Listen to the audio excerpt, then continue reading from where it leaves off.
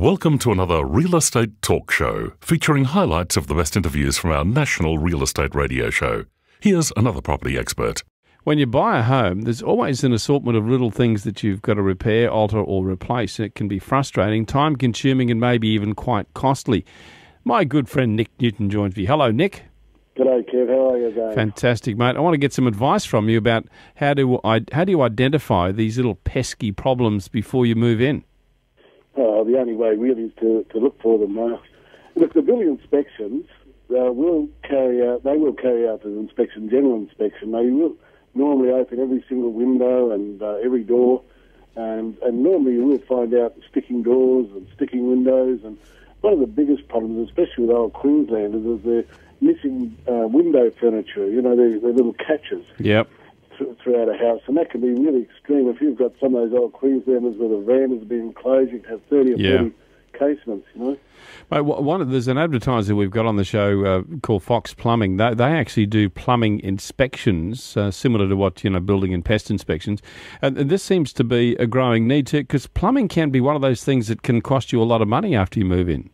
I sure can, especially uh, on the older homes, Kev, where you can find that there's uh, the old sewer pipes and uh, old galvanised pipes through the house. Yep. Uh, and uh, at first glance, and when you walk through the house, you won't even notice anything. They look great, you know, and things will work. Uh, two or three weeks after you move in, you, you find out your showers are, are clogging up and rust is coming through. Uh, all these sorts of things um, yeah, really important to check on uh, first occasion, really. Yeah, so we've covered the building and pest, and we've now covered the, the plumbing, and um, you know I think that's a great idea to have a plumbing inspection like that. But what about the electrics?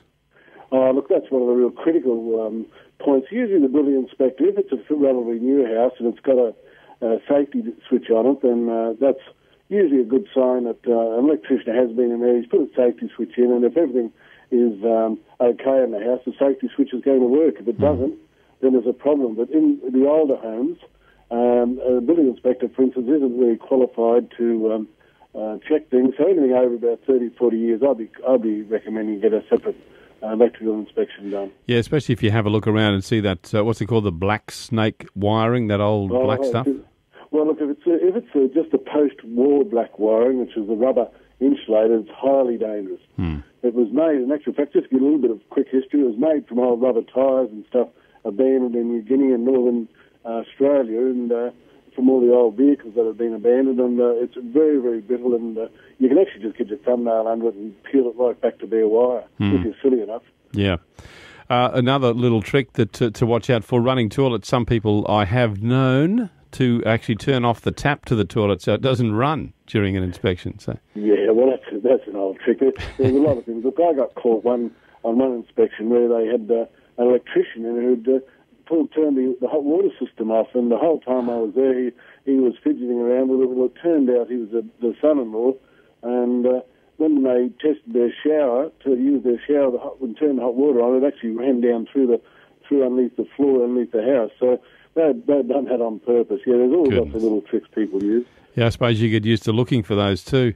Um, a lot of people do do it yourself. Things that th- these are things you got to look out for, especially if it's electrical or tiling. Nick, is uh, you'd have picked that up in your building inspection days. Well, mostly you do, yeah. Look, tiles, generally, if there's a whole, you know, big expanse of floor tiles, you might tap a few here and tap a few there. If they're uh, obviously drumming or they're out of line. But look, surprisingly enough, Kev, uh, we often find that uh, when people do their, do their own stuff or do DIY, they can often be better than uh, the tradesmen because they, they spend a lot more time doing it and uh, and uh, put a lot more care into it because it's their own little job.